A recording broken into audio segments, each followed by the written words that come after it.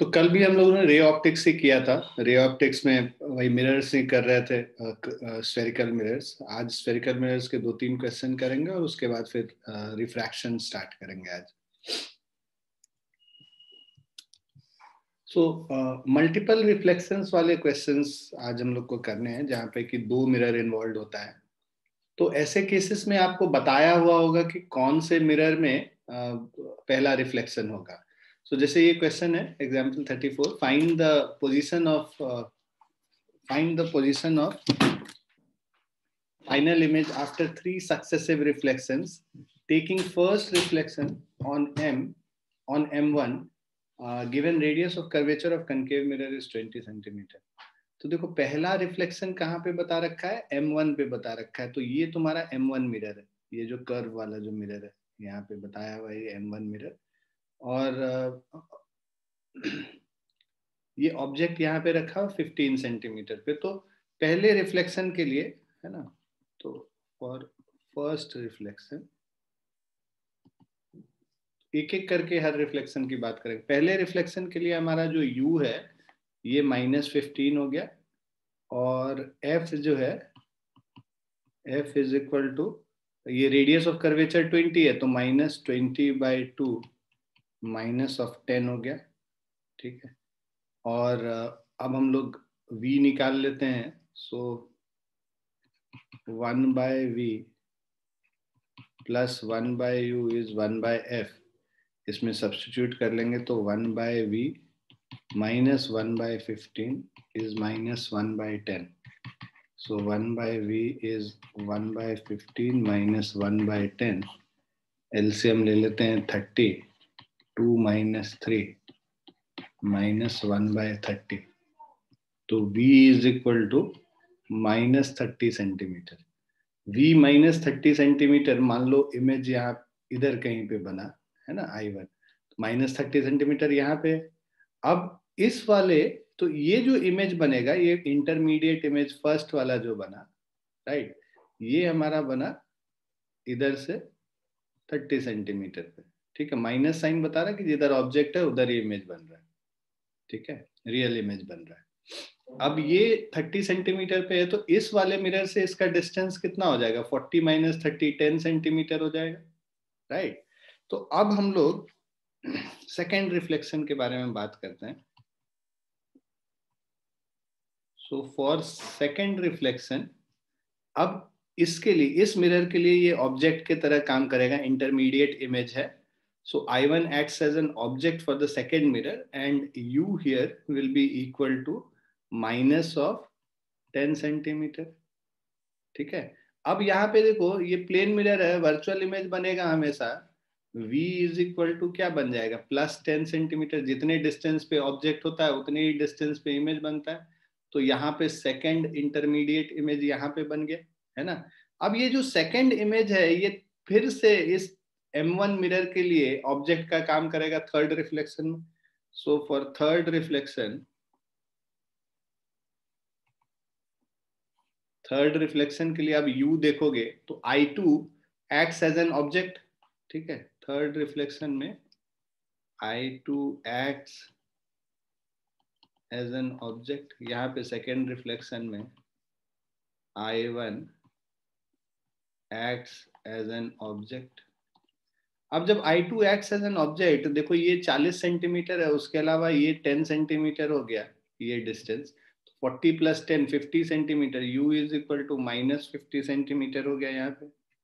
F तो हमें दे ही रखा है, f is equal to minus of 10 centimetre अब यहाँ पे फाइनल हम लोग फिर से एक बार मिरर फॉर्मूला लगाएँगे one by V plus one by U is equal to one by F values put करेंगे one by V minus 1 by 50 minus 1 by 10. 1 by V is 1 by 50 minus 1 by 10. So this is 50, 1 minus 5 minus 4 by 50. V is minus 50 by 4 minus 12.5. तो v is equal to minus twelve point five हो गया तो मतलब इधर से जहाँ पे object रखा है, उसके 2.5 सेंटीमीटर कैसे भी बता सकते हो, ये भी बता सकते हो कि इस मिरर से राइट में 12.5 सेंटीमीटर पे जो भी पोजीशन है वो बता दें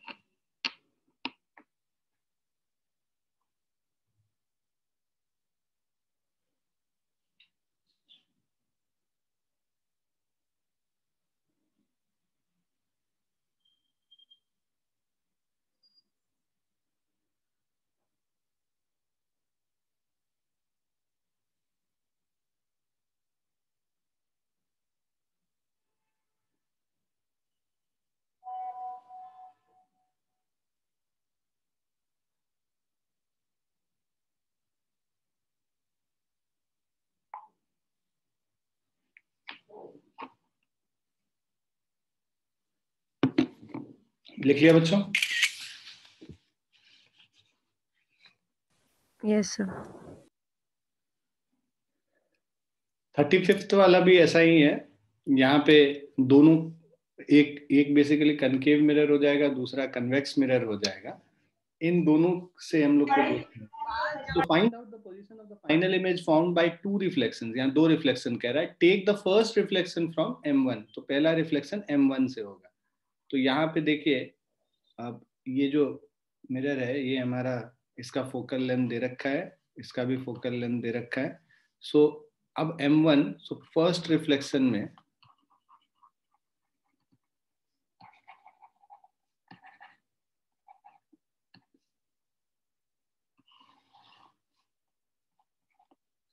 now first reflection from M1 अगर होता है तो यहाँ U is equal to minus ten centimetre हो गया, ठीक है?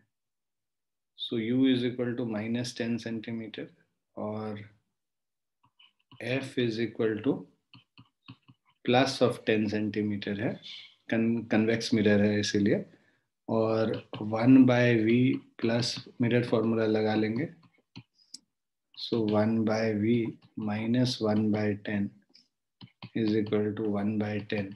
1 by v is 1 by 10 plus of 1 by 10 which is equal to 2 by 10 that is 1 by 5 so v is equal to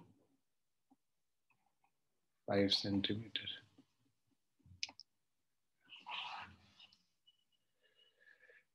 now v का वैल्यू 5 सेंटीमीटर हो गया मतलब यहाँ पर से कहीं जो इमेज बना i1 ये फाइव सेंटीमीटर पे बना। अब ये टोटल ये जो I one acts as so for second reflection I one acts as object for M two तो अब यहाँ पे जो u लेंगे m2 के लिए तो 45 plus ten fifty five plus five sixty centimetre, u is equal to minus sixty centimetre हो गया। ठीक है? और f is equal to minus twenty centimetre. Mirror formula आप लगाएँगे one by V plus one by U is one by F 1 by V minus 1 by 60 is minus of 1 by 20. So 1 by V is equal to 1 by 60 minus 1 by 20. LCM 60 लेंगे 1 minus 3 minus 2 by 60 minus 1 by 30. So V is equal to minus of 30 centimeter. So V is equal to minus 30 centimeter मतलब यहाँ पर से इधर इस point पे I2 बनेगा 30 centimetre की distance is it clear yes next question ऐसा ही है वो आप लोग करेंगे करके हमको बताएँगे आंसर ये लिख लिया सबने?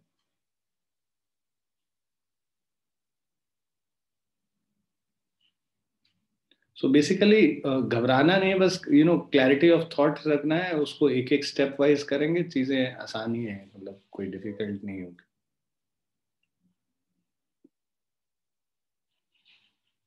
कॉम्बिनेशन ऑफ़ मिरर्स के क्वेश्चंस पूछे जाते हैं काफ़ी।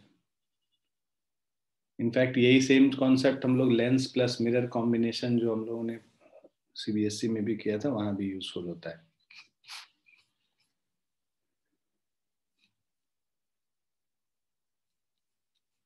लिख लिया सबने? Yes,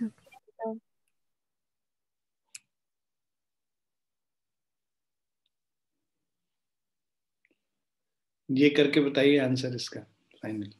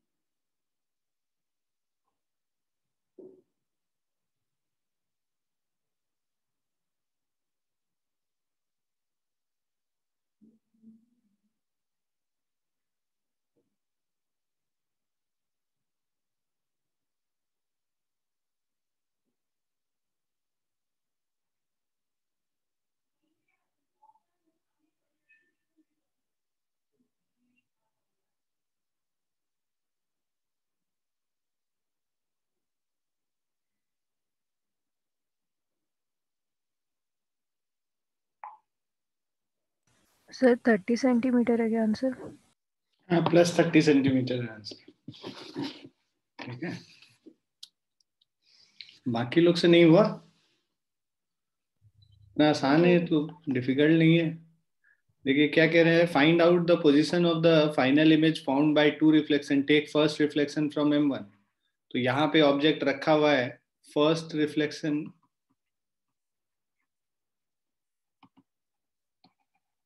from M one अगर हम लोग करें, u तो m1 हमारा कनकेव मिरर है। U is equal to minus thirty F is equal to minus twenty ठीक है? तो अब one by V plus one by U is one by F हम लोग यूज़ करते हैं।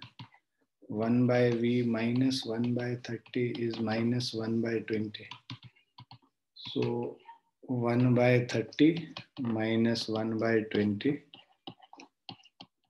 minus 3 minus 1 by 60 v is equal to minus 60 centimetre v minus sixty centimetre आप देखो thirty plus fifteen forty five है माइनस सिक्सटी मतलब यहाँ पे, कहीं पे पहला इमेज बनेगा। ठीक है? आई वन यहाँ पे राइट और ये टोटल सिक्सटी है, इधर से ये जो डिस्टेंस होगा, ये सिक्सटी है। तो इसका मतलब कि ये जो डिस्टेंस होगा, ये 15 होगा राइट 15 सेंटीमीटर तो ना सेकंड रिफ्लेक्शन में ये देखो ऑब्जेक्ट क्या हो गया? वर्चुअल हो गया इसके लिए। भाई, ये पोल है और ये कन्वेक्स मिरर है। ऑब्जेक्ट वर्चुअल हो गया। सेकंड रिफ्लेक्शन में फ्रॉम एम टू यहाँ पे I one acts as object. तो इसमें u is equal to plus of 15 centimetre करेंगे। ठीक है? क्योंकि ये वर्चुअल ऑब्जेक्ट है तो प्लस ऑफ़ 15 सेंटीमीटर होगा यहाँ पे। f इज़ इक्वल टू ठीक है प्लस ऑफ़ 10 सेंटीमीटर तो अब one by V plus one by U is one by F So 1 by V plus 1 by 15 is 1 by 10. So 1 by V is 1 by 10 minus 1 by 15. कर लो 3 minus 2. So this is plus 1 by 30. So V is equal to 30 centimeter. Plus 30 centimeter. Plus 30 centimetre मतलब यहाँ पे कहीं पे image I2 बनेगा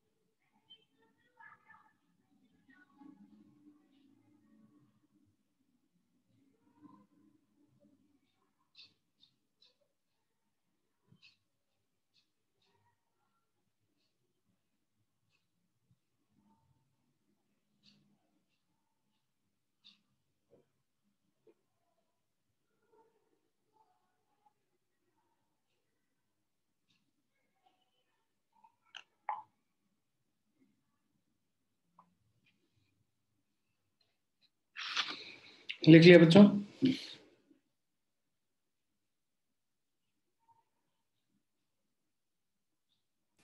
yes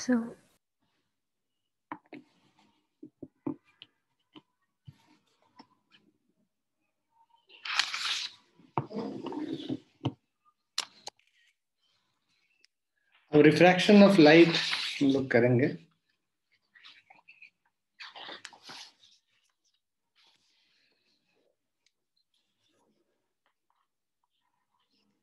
refraction of light. Now deviation or bending of light rays from their original path while passing from one medium to another is called refraction. And a basic definition. Refraction is due to the change in speed of light as light passes from one medium to another. So if the light is incident normally, then it goes to the second medium without bending, but still it is called refraction. Refractive index जो medium का होता है absolute refractive index mu is equal to c upon v है ना so, c upon v मतलब speed of light in vacuum by speed of light in medium. More or less refractive index of medium implies less. So ये जो अगर ज़्यादा refractive index होगा तो less speed होगा लेस रिफ्रैक्टिव इंडेक्स होगा तो मोर स्पीड होगा therefore medium is called ज़्यादा रिफ्रैक्टिव इंडेक्स है तो डेंसर मीडियम हुआ लेस रिफ्रैक्टिव इंडेक्स है तो रेयर मीडियम होगा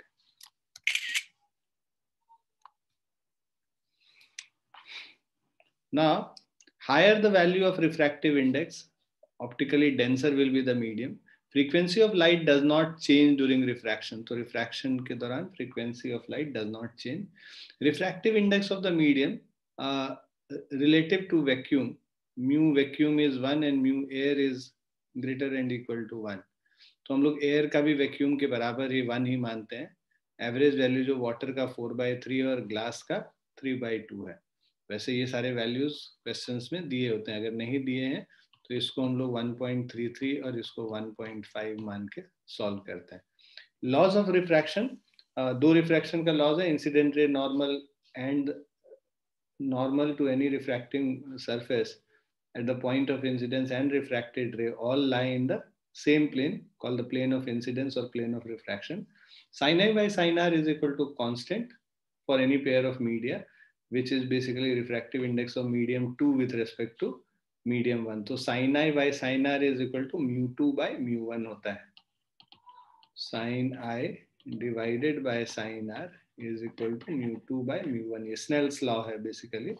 इसी को अगर थोड़ा एक्सटेंड कर देंगे तो ये v1 by v2 हो जाएगा है ना speed in medium one by speed in medium two by is equal to lambda one by lambda two so wavelength in medium one by wavelength in medium two ये हम लोग पूरे extend करके एक साथ ही याद कर सकते हैं। Mu two by mu one is basically refractive index of medium two with respect to one बहुत तरीके से लिखा जाता है। ऐसे भी लिख सकते हैं। ऐसे भी लिख सकते हैं। ऐसे भी लिख सकते हैं। ऐसे भी लिख सकते हैं। कैसे भी मतलब ये सारे चीज़ का मतलब एक ही है। Relative refractive index of medium two with respect to medium one Now refractive index of second medium with respect to the first medium, speed of light in air is 3 into 10 to the power 8 meter per second.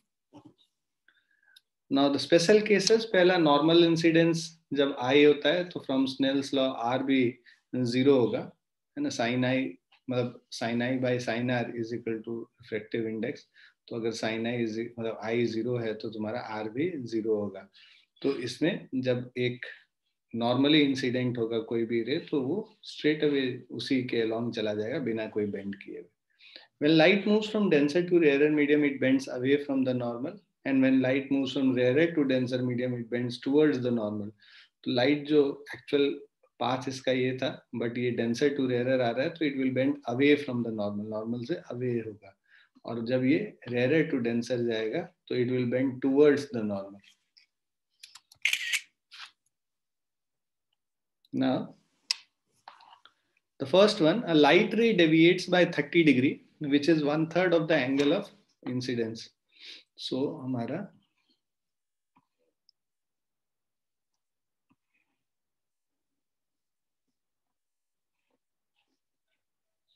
when it gets refracted from vacuum to a medium. तो ये medium one, medium two, ये vacuum है और ये कुछ medium है. तो vacuum का वन होता है तो it will bend towards the normal so when it gets refracted from the vacuum, you find the refractive index of the medium. तो ये हमारा I और ये लेट्स से R है राइट और ये जो है डेविएशन डेल्टा है. So delta is equal to I minus R हो गया. रे डेविएट्स बाय 30 डिग्री मतलब 30 is equal to I minus R which is one third of the angle of incidence. So delta is equal to i upon three तो i कितना हो जाएगा? Three times delta three into thirty मतलब ninety degree हो गया i का value तो अब ये thirty is equal to ninety minus R so R is equal to sixty degree तो I ninety degree R sixty degree हो गया. अब आपसे कह रहा है find the refractive index of the medium. So refractive index of medium 2 with respect to 1 is same as refractive index of medium 2 is equal to sine i by sine r sine 90 degree by sine 60 degree 1 divided by root 3 by 2 which is equal to 2 by root 3 clear है बच्चों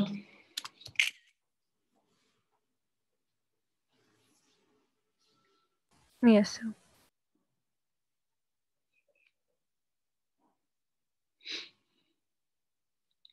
लिख लिया सभी ने Yes, sir.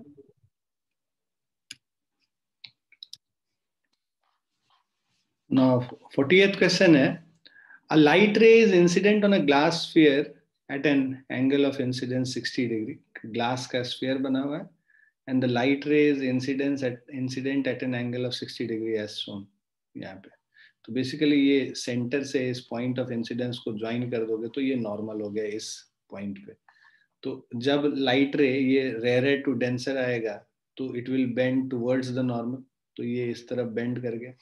Bend करके जब यहाँ पहुँचा, यहाँ पे जो नॉर्मल है वो सेंटर से ज्वाइन कर देंगे इस पॉइंट ऑफ़ इंसिडेंस पे। अब ये डेंसर टू रेयर जा रहा है तो इसको जाना चाहिए था straight but it will bend away from the normal तो कुछ इस तरह से इस डायरेक्शन में आ गया ठीक है?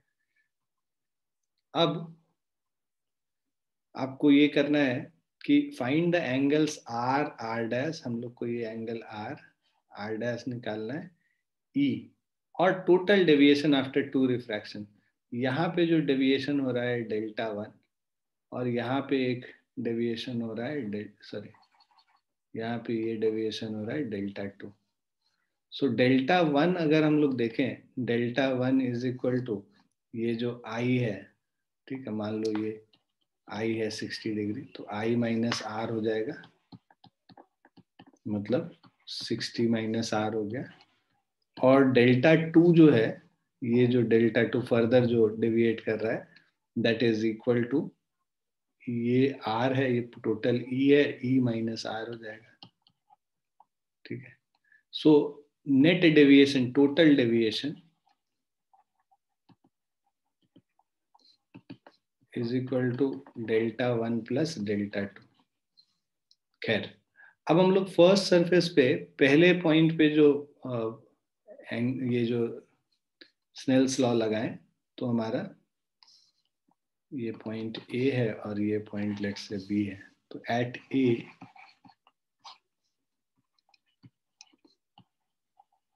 using Snell's law sine I so one into sine I is equal to root three into sine R भाई जिस मीडियम में होता है, उस मीडियम का refractive index one into sine I और ये जिस मीडियम में आर है म्यू इंटू साइन आर मतलब root three into sine R हो जाएगा।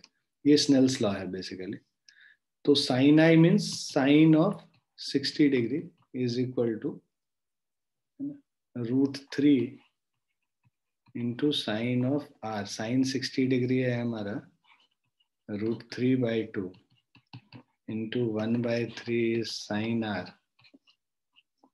So, r is equal to 30 degree हो गया। साइन r 1 by 2 है मतलब r 30 डिग्री हो गया।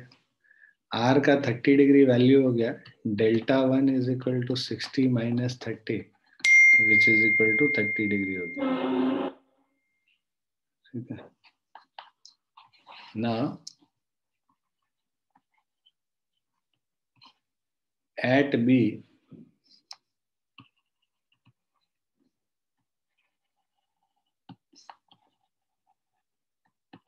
using Snell's law, we have root 3 into sine r dash is equal to 1 into sine e. So root three अब देखो बिकॉज़ ये भी रेडियस ये भी रेडियस तो R is equal to R dash हो जाएगा R is equal to R dash which is equal to thirty degree हो गया। Root three into sine thirty degree. One into sine E. Sine thirty degree one by two है तो root three by two is equal to sine of E is equal to sixty degree. E का value sixty degree हो गया। R dash thirty degree है। delta 2 is equal to E minus, I'm sorry, R dash. So delta 2 is equal to E minus R dash 60 minus 30, which is 30 degree. So net deviation, net deviation is equal to delta 1 plus delta 2 delta one हमारा 30 degree है delta two भी 30 degree है दोनों को add कर दो total deviation 60 degree निकल के आ जाएगा। क्लियर है बच्चों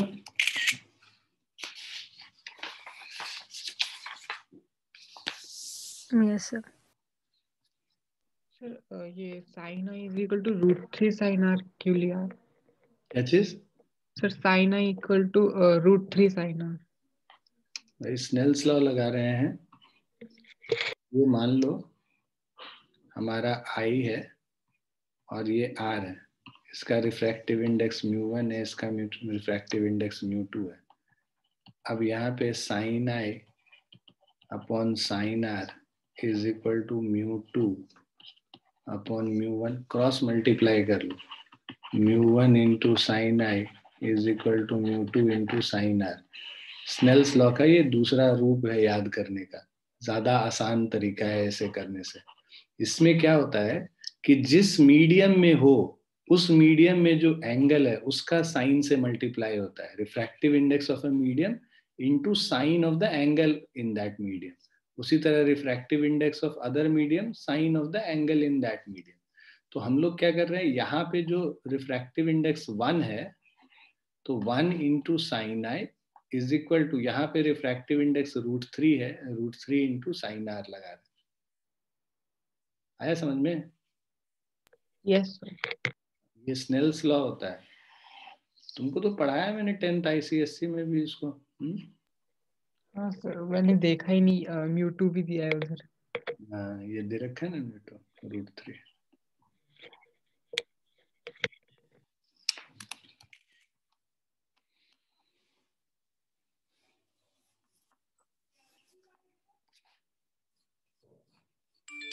Kushal तुम कहाँ थे कल? सर आज मेरा एग्ज़ाम स्टार्ट हो गया तो कल मेरा एग्ज़ाम था उसी में पढ़ रहा था। अच्छा अच्छा।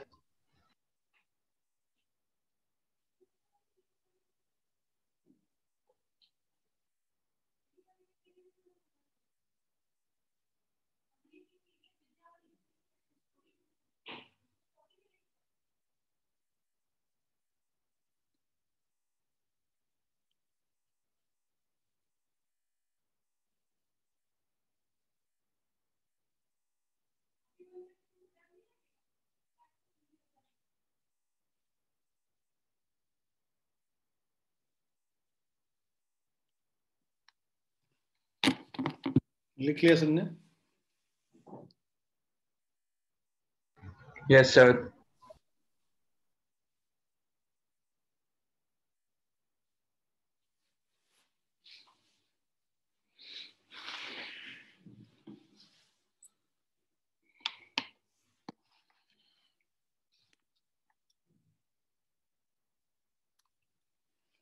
ना नेक्स्ट वाला इसमें कह रहा है find the angle find the angle theta A made by the light ray when it gets refracted from water to air तो ये बहुत सिंपल है। सेम स्नेल्स लॉ लगा लेंगे। Mu water into sine of मान लो इसको हम लोग साइन ऑफ़ एंगल दे रखा है sine inverse theta by five is equal to mu air into sine of theta A ठीक है? हम लोग को थीटा ए निकालना है। रिफ्रैक्टिव इंडेक्स वाटर का फोर बाय थ्री हो गया। और ये sine of sine inverse three by five three by five हो गया। एयर का रिफ्रैक्टिव इंडेक्स वन हो गया। Sine theta A three three cut गया। Four by five is equal to sine of theta A so so, इसका मतलब theta A is equal to sine inverse of four by five हो गया।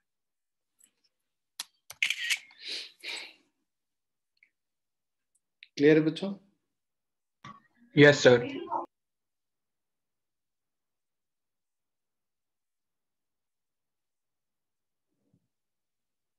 लिख लिया?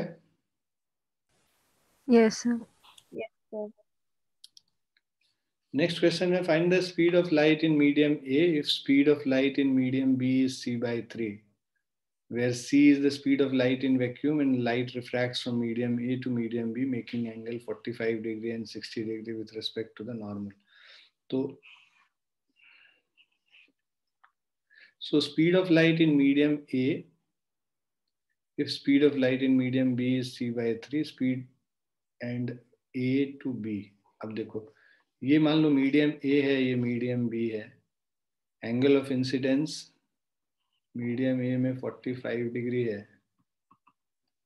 और एंगल ऑफ़ रिफ्रैक्शन 60 डिग्री हो गया मीडियम बी में। और यहाँ पे जो speed of light in medium B हमको मीडियम ए में स्पीड ऑफ़ लाइट निकालना है। Speed of light in medium B is equal to C by three. ठीक है। अब देखो, हम लोग को पता है, sine I upon sine R is equal to refractive index of medium B by refractive index of medium A. ठीक है। Is equal to speed in medium A by speed in medium B.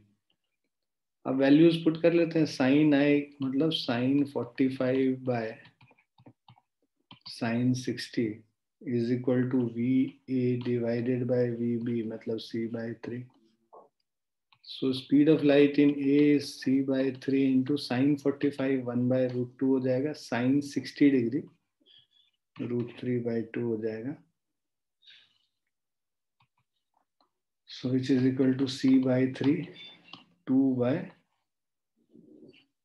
root 6 so 2c by 3 root 6 हो गया।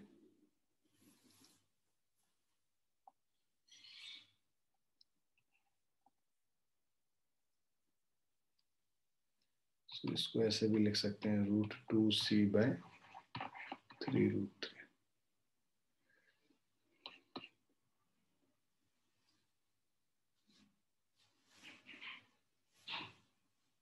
sir, हम ये सी की value नहीं खोलेंगे? नहीं सी की वैल्यू नहीं डालनी है इसमें। सी के टर्म्स में निकालना है, क्योंकि ये सी बाय थ्री ही दे रखा था ना। इसीलिए। मतलब वहाँ पे तो ऑप्शंस के हिसाब से करेंगे हम लोग। मतलब यहाँ पे सी के ऑप्शन सी के वैल्यू में ही दिया होता है, इसीलिए सी के वैल्यू में निकाल के छोड़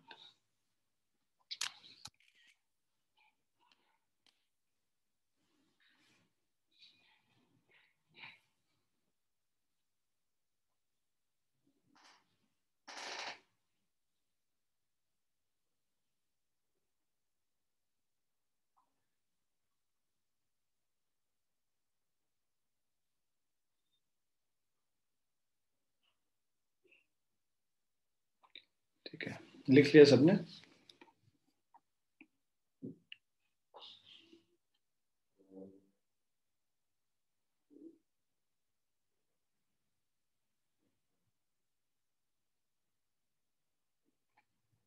ये नेक्स्ट क्वेश्चन तुम लोग अटेम्प्ट करो। ये नहीं ये नहीं करना है। ये कोर्स में नहीं है, ये करना ये क्वेश्चन तुम लोग अटेम्प्ट करो, है ना?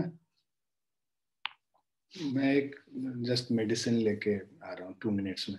तुम लोग इसको अटेम्प्ट करो पहले ठीक है? रिफ्रैक्शन का ही क्वेश्चन है ना।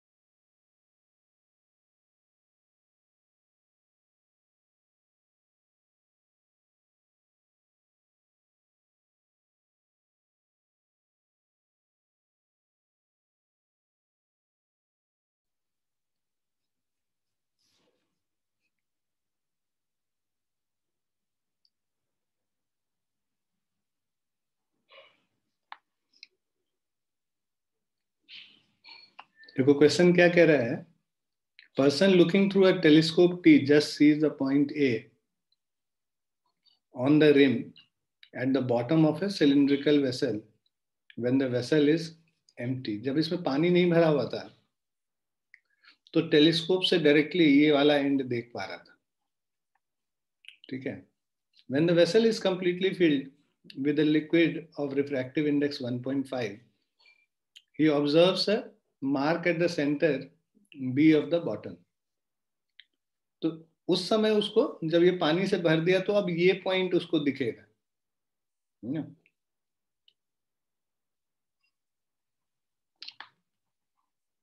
देखो डेंसर टू रेयर जाएगा तो it will bend away from the normal तो ये वाला पॉइंट दिखता है।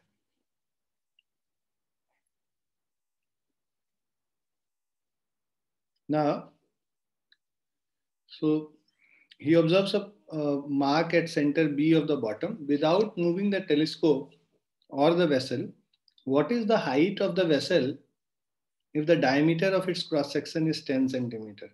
ये पूरा 10 सेंटीमीटर है तो उसका हाफ़ दिख रहा है मतलब ये 5 सेंटीमीटर हो गया और ये भी 5 सेंटीमीटर हो गया हमें हाइट निकालना है इस वेसल का मान लीजिए हाइट इसका h है ठीक है अब अगर हम लोग स्नेल्स लॉ देखें तो देखो refractive index mu water into sine I is equal to refractive index of air into sine R ठीक है? अब नोटिस करो, ये जो है एंगल आई है और ये पूरा आर है। ठीक है? अब यहाँ पे वाटर का रिफ्रैक्टिव इंडेक्स 1.5 साइन आई करेंगे परपेंडिकुलर बाय हाइपोटेनस परपेंडिकुलर मतलब क्या है? बी सी है। B C by B C by B D is equal to mu A air का रिफ्रैक्टिव इंडेक्स वन है। Sine R is equal to A C by A D ठीक है? Value put कर लो अब। देखो, अब यहाँ पे B D will be equal to root under H square plus five square और ए डी क्या हो जाएगा? Root under H square plus ten square values को पुट कर लेते हैं यहाँ पे। 1.5 five into B C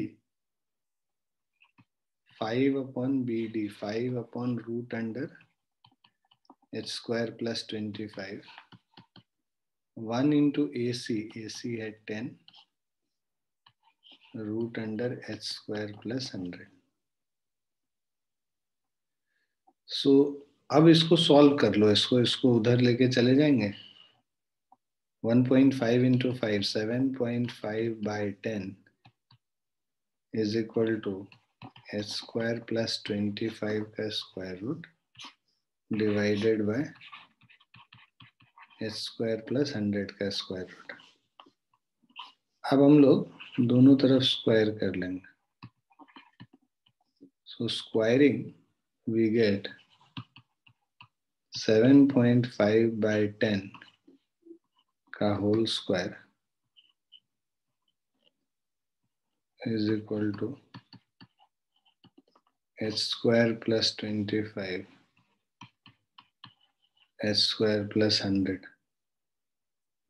7.5 by 10 0.75 का स्क्वायर कर देंगे सो हमारा आ जाएगा 0.75 का square 0.5625 into h square plus 100 is equal to h square plus 25.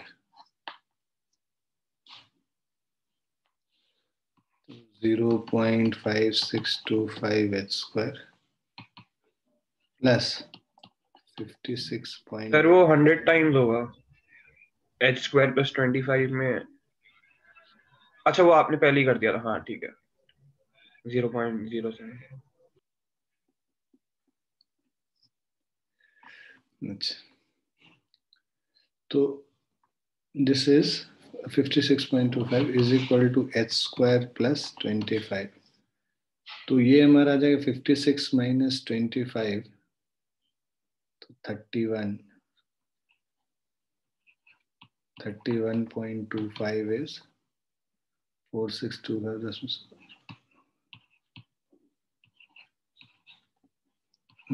point four three seven five h square. h square is thirty one point two five by point four three seven five. That's square root eight point four five. So h is equal to eight point four five centimeters.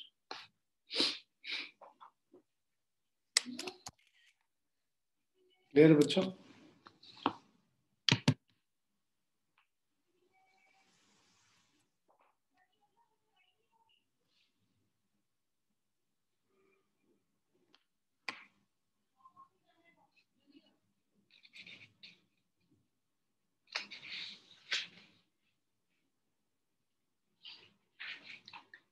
लिख लिया सबने? Yes sir Yes, sir. अब refraction through multiple layers तो अब जब multiple layers हम लोग करेंगे मान लो ये एयर का है ग्लास का है वाटर है और फिर से वापस एयर आ गया। तो देखो यहाँ पे हर लेयर में मान लो जैसे हम लोग ने मैंने तुम्हें बताया था है ना कि इसका अगर हम लोग रिफ्रैक्टिव इंडेक्स म्यू वन लेते हैं, इसका रिफ्रैक्टिव इंडेक्स म्यू टू लेते हैं, इसका म्यू थ्री लेते हैं, और ये मान लो म्यू फोर लेते हैं। तो refractive index into angle of incidence in that so इसमें mu one into sine i one is equal पहले इस वाले लेयर के लिए हम इस वाले बाउंड्री पे लगा रहे हैं। Mu one into sine i one is equal to mu two into sine i two उसके बाद जब इस इस वाले बाउंड्री पे लगाएँगे ये आई टू है ये भी आई टू है तो mu two into sine i two is equal to mu three into sine i three उसके बाद यहाँ पे रिफ्रैक्शन देखेंगे mu three into sine i three is equal to mu four into sine i four मान लो ये I four पहले मान लो this is equal to mu 4 into sine i4. Now, if i1 is equal to i1 is equal to i4, right? Yeah, mu 1 is equal to mu 4. ये भी air है ये भी एयर है. देन इन दोनों को इक्वेट कर लो. हमें पता है mu one sine i one is equal to mu four sine i four ठीक है? सो म्यू वन और म्यू फोर इक्वल है कैंसिल हो गया. तो इससे sine i one is equal to sine i four और this implies i one is equal to i four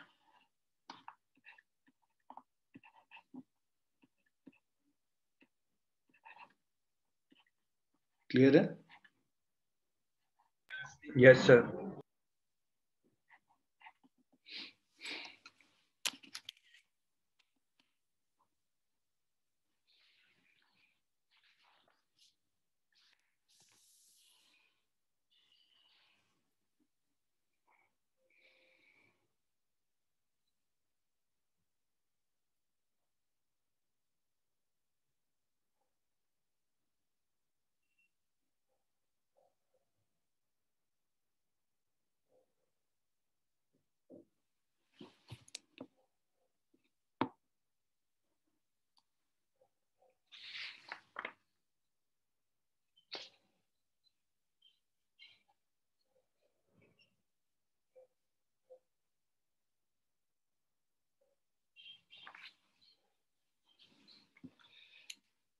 next पे चलते हैं। ये वही चीज़ है, उसी चीज़ को बोल रहा है है ना? जो अभी हम प्रूव करके दिखाए ना सेम चीज़ है। Prove that n one sine i one is n two sine i two is n three sine i three is n four sine i four और इसमें ये प्रूव करना था अगर एन वन एन फोर के बराबर है मतलब ये फ़र्स्ट वाला फोर्थ वाले के बराबर तो हमें प्रूव करना है कि आई वन जो है आई फोर के बराबर होगा ऐसा प्रूफ करना।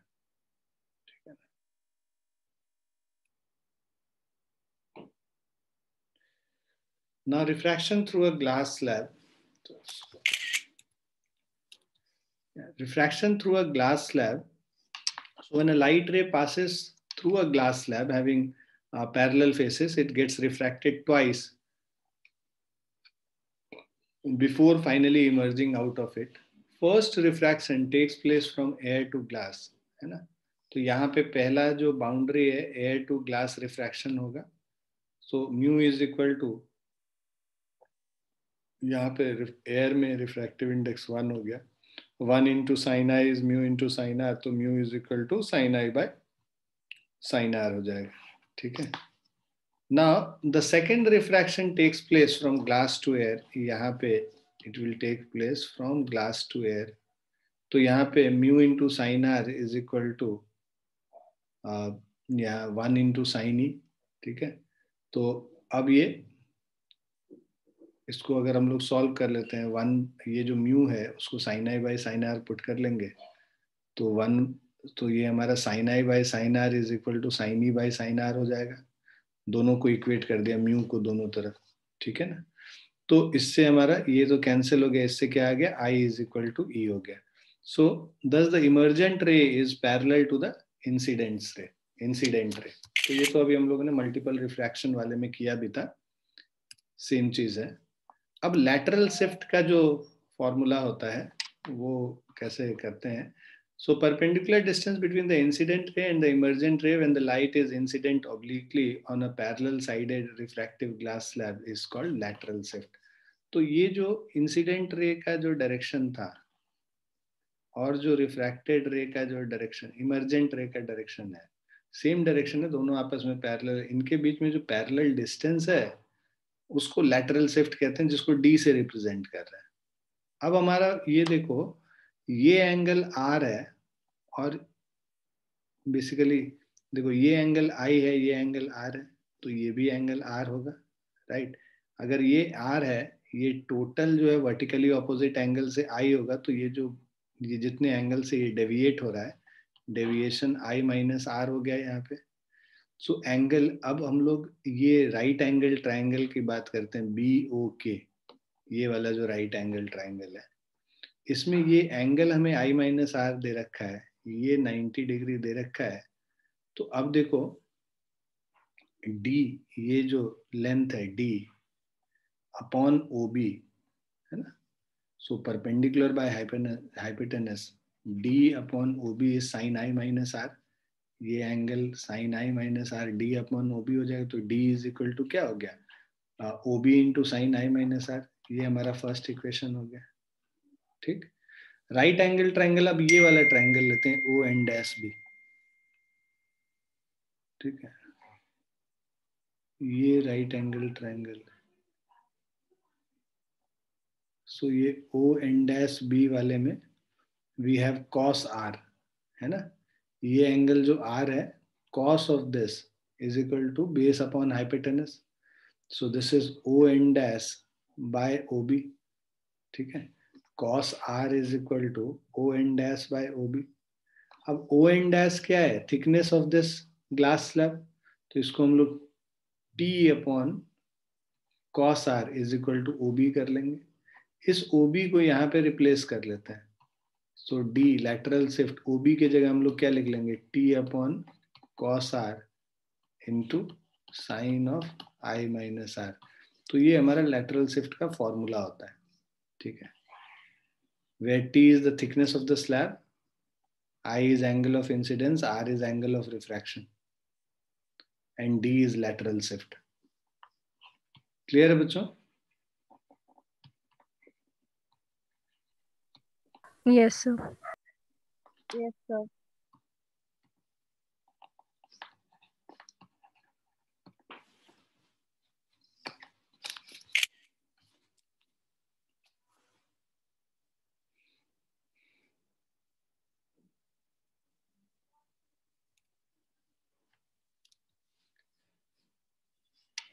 Now example 46. A ray of light falls at an angle of 30 degree into a plane parallel glass plate and leaves it parallel to the initial ray. The refractive index of the glass is 1.5, mu is 1.5. What is the thickness D of the plate? And मतलब T का value निकालने बोला है अभी. What is the thickness D of the plate if the distance between the rays is 3.82 centimeter? तो lateral shift मान लो ठीक है थिकनेस डी अभी हम फॉर्मूला से चलते हैं। टी निकालने बोला और शिफ्ट डी दिया हुआ है। तो जो हमारा फॉर्मूला था लैटरल शिफ्ट का, वो ये कह रहा था। अच्छा इसमें और ये सब वैल्यू दे रखा है one by sine inverse one by three is nineteen point five cos nineteen point five is इतना साइन टेन पॉइंट फाइव ये सब दे रखा है। अब देखो यहाँ पे पहले हम लोग निकाल लेते हैं, ये आर का value sine i upon sine r is equal to 1.5 sin r is equal to sin i by 3 by 2 sin i का वैल्यू है one by two sine thirty degree हो जाएगा। One by two upon three by two मतलब one by three आ गया। R is equal to sine inverse of one by three. ये कितना हो गया? Nineteen point five degree question में दे रखा है। तो इसको यूज़ कर लिया हमने। ठीक है? आर का value nineteen point five degree हो गया। So i minus r thirty minus nineteen point five ten point five हो गया। मतलब ये जो एंगल है this angle is ten point five degree this is nineteen point five degree ten point five degree है, अब sine ten point five degree तो देखो, ये पॉइंट ए और ये पॉइंट बी और ये पॉइंट सी और ये पॉइंट डी लेते अब in triangle A B D हम लोगों को d by AB is equal to sine of 10.5 जो वैल्यूज़ दिए हुए ना, उनको यूज़ कर रहे हैं, इसीलिए हम लोग ऐसे कर रहे हैं। So perpendicular by hypotenuse is sine 10.5 sin 10.5 का वैल्यू 0.18 दे रखा है। डी मतलब ये जो वैल्यू है 3.82 सेंटीमीटर दे रखा है। 3.82 बाय ए बी चलो यहाँ पे एस ले लो, इसको जो क्वेश्चन में दे रखा है, इसको चेंज नहीं करते कंफ्यूजन होगा तुम्हें। So 3.82 divided by A B 0.18 A B is 3.82 by 0.18 so this is.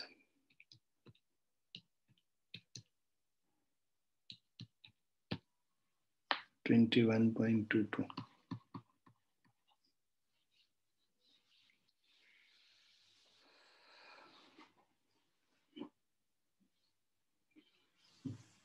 ठीक है। अब ए बी पता चल गया। अब इसके बाद in triangle A C B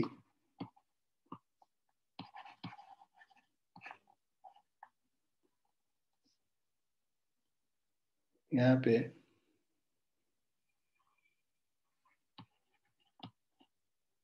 cos r is equal to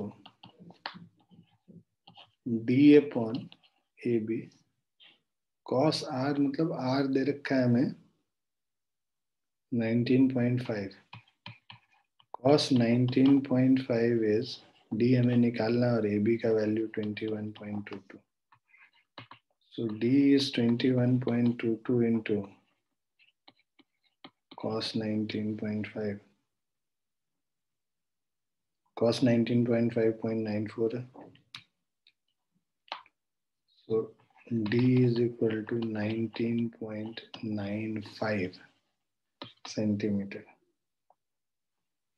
तो ये d का वैल्यू निकालना था हम लोग को बिकॉज़ डेटा जो दे रखा है तो उसको यूज़ करके सॉल्व करना था डायरेक्टली फॉर्मूला हम लोगों ने नहीं निकाला क्योंकि स्टैंडर्ड एंगल्स नहीं दिए हुए। इस वजह से हम लोगों ने जिस तरह से प्रूव किया है उसको उसी तरह से सॉल्व किया है इसको। क्लियर है बच्चों? Yes sir